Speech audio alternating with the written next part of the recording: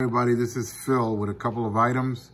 The first one is the ICOM ICA110. It's a VHF aircraft uh, radio trans transceiver uh, rated at 36 watts PEP and 9 uh, watts PEP low power. Uh, have it on, have this meter on the 30 watt scale PEP. Hello. Yep, so it goes a little bit over 30 watts. So that's working. Um, it has memories, a lot of features. I was receiving some air traffic on a uh, rod antenna, indoor antenna, so it works.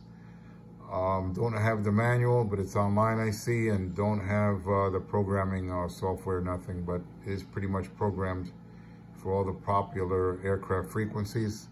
I also have some uh, polyphasers, different types, brand new. I'll list the model numbers of the polyphasers. There's one here. I have uh, several. I have these type, oh, this is the same one. No, there's a different type. I'll list all the uh, model numbers of these polyphasers. So anybody with interest, they come with hardware, need to mount, and they're brand new.